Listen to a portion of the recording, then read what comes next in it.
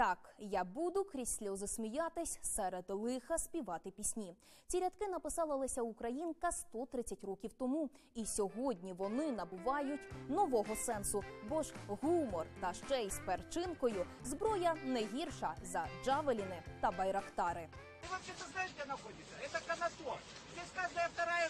это ведьма. Окупанти вже котрий день поспіль отримують гідну відсіч, причому по всіх фронтах, адже український народ сміливо та охоче кипкує із ворога. Ага, все понятно, раз не здоровиться. Скажи слово паляниця. Легендарна Чорнобаївка, російські танки в ангарах українських фермерів та пісня про Байрактар. Війна породила чимало кумедних історій, які розуміють усі українці. Дай мені 10 пленних, пан президент. Подумайте над цим. Дай мені 10 пленних. Вони будуть робити 24 на 7. Багатомільйонні інтернет-війська щодня наповнюють соцмережі мемами. Менеджера із Укрпошти, що збив ворожий літак, порівнюють з американським супергероєм. А бойових українських гусаків знаєте? Та й укриття миліше, коли те перетворюється на жарт. Тож чуєте тривогу, біжіть у калідор. До речі, в укриттях сьогодні творять і вітчизняні коміки, які з першими звуками сирен перемістилися до бомбосховищ. Я недавно у Львові на вулиці говорив своїм знайомим, повз нас проходить чоловік, розвертається до нас, підходить і каже: Я перепрошую. Але мені здається, що ви щойно сказали Росія з великої букви. Коли починалась повітряна тривога, папа просто закривав шторкою вікно. Українці тримаються як та шавка у розбомбленій бородянці, а сміх допомагає подолати тривогу. Коли жесть як важко, ми жартуємо не для того, аби обезцінити м, ситуацію, яка є, а для того, аби у нас були гормони щастя. А гормони щастя не будуть зайвими й на передовій, і всі жарти, аби підняти бойовий дух та деморалізувати ворога. Он пришел из будущего, чтобы убить всех москалей. Нам сказали, що наші наступати через 10 хвилин. Походу, ці наші це є ми. А це ми знайшли танка, і зараз його танкіст спробує відремонтувати. Воєнний гумор нині не просто розвага, а ефективний спосіб зняти стрес. Як то кажуть, сміємось, значить, не здаємось. Це Міха.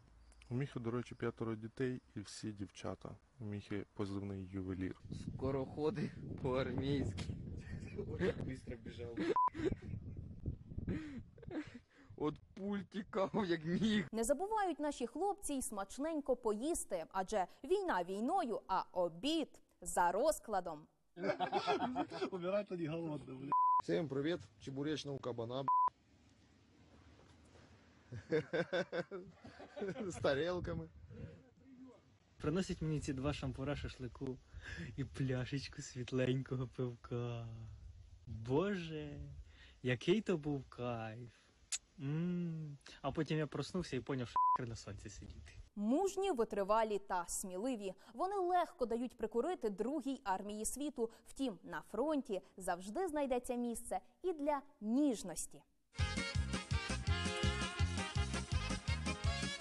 Крохотулик маленький, хто це такий? Хто, хто тут у нас прячеться?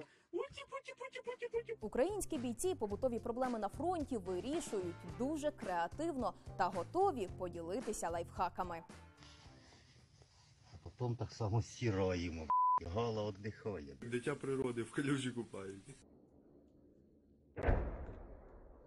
Помыл я голову? Угу. Ну а танці наших військовиків вже давно підкорили серця тисяч дівчат.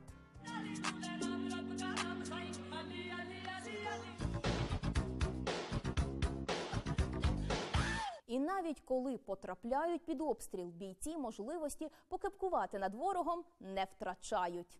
Так десь ми живемо на одне вухо оглох. Не попав.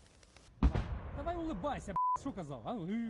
А тим часом гумор творить історію. Фраза про руський воєнний корабль стала культовою в усьому світі. як наразі е, запитати у п'ятирічної дитини, хто такий Путін, і що сталося з руським кораблем, то я думаю, е, п'ятирічна дитина тобі відповість е, правильно, дасть правильну відповідь. Привіт, Сірі.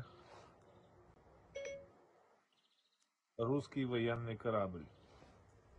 Русский военный корабль, иди Збройні сили України не втрачають оптимізму. Вони співають.